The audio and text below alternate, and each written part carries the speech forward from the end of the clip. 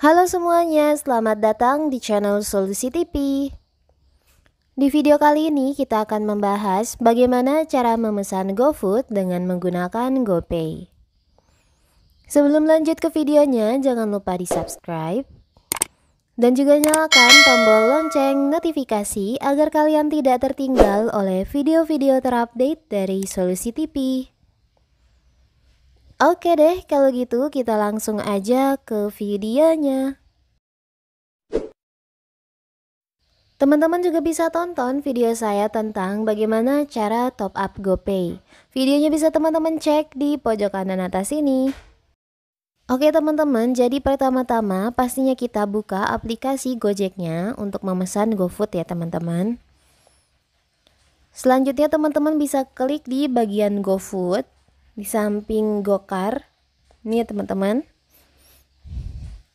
jangan lupa teman-teman sebelumnya juga mengaktifkan untuk lokasinya Lalu teman-teman bisa pilih aja beberapa menu di sini. Di sini teman-teman bisa pilih makanan yang terdekat dari tempat teman-teman tinggal atau yang terlaris, pick up dan juga menu sehat. Nah, teman-teman bisa pilih banyak pilihannya di sini ya, teman-teman. Misalnya kita akan coba pilih minuman. Kita pilih salah satu yang paling atas sini ya teman-teman.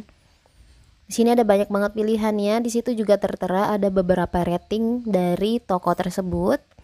Saya akan coba pilih langsung aja yang paling atas. Lalu teman-teman bisa tinggal pilih aja menu yang ingin teman-teman pesan di sini. Nah, di bagian atasnya itu tertera ya teman-teman keterangan dari toko ini, jaraknya dari tempat kita tinggal dan juga ratingnya di situ. Di sini juga ada beberapa diskon yang bisa kita gunakan teman-teman.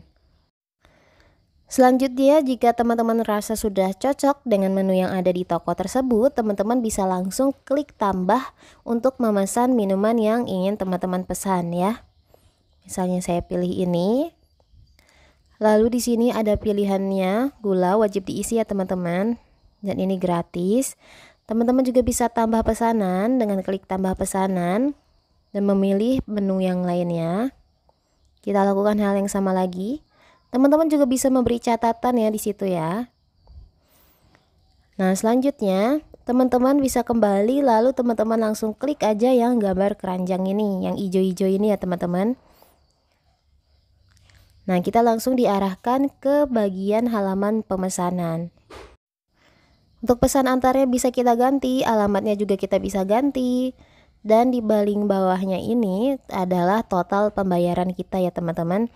Nah, teman-teman bisa pilih metode pembayarannya di paling bawah tadi. Metode pembayaran awalnya yang kita gunakan yaitu tunai ya teman-teman. Teman-teman langsung ganti aja ke GoPay.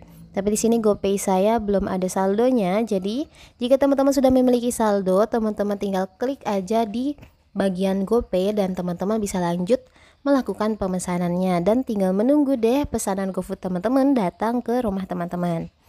Gampang banget kan teman-teman caranya, teman-teman bisa langsung coba aja.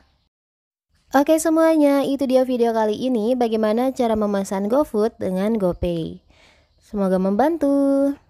Selain video ini, saya juga membuat video tentang bagaimana cara menggunakan aplikasi Gojek atau GoPay. Videonya bisa teman-teman cek di link deskripsi di bawah sini.